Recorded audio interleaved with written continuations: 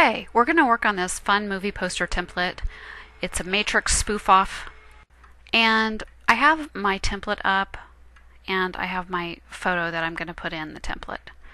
What I've done is I've, I've extracted the background from this photo. It had a white background, so I just used my magic wand and I removed the background quickly just so that I could show you how to do this. Let me just show you some areas, some layers we have here. Okay, in our template we have this says that the changeable text is below. We have these words that can be changed. This is our front, so I'm going to turn it off so you can see what it does. This is our extracted person. This is our background. So you can turn off and on these layers.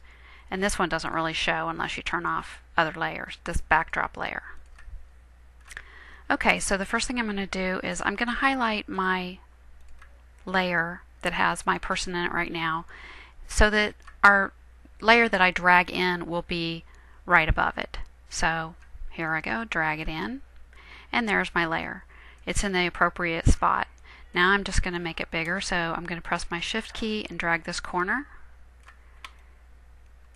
Press enter.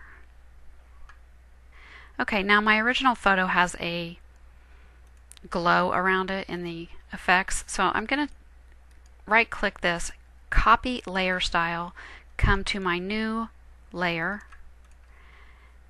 and paste layer style. And then I'm going to turn off my original layer. So now my new layer is in there. Okay, now I'm going to come up here and just make some modifications. It asks if that it could change the layout and I'm going to say okay. And we'll change this to Bobby Smith. I think I have an extra space. And you can change this information down here. You can change all this.